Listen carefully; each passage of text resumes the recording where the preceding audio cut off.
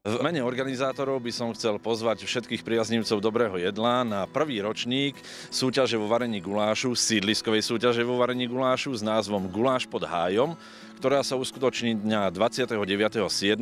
tu v priestoroch lyžiarského strediska Podbreziny. Srdečne vítame všetkých, ktorí radi varia, ktorí sa radi dobre bavia. Prihlásiť sa môžu maximálne 6 členné družstva a to na adrese, mailovej adrese guláspodhájom zavináč gmail.com No a treba si priniesť dobrú náladu, všetky propozície samozrejme prihláseným pošleme. Okrem súťaže vo varení gulášu sú pripravené aj ďalšie súťaže, a to súťaže pre deti aj dospelých, takže tešíme sa na vašu návštevu 29.7.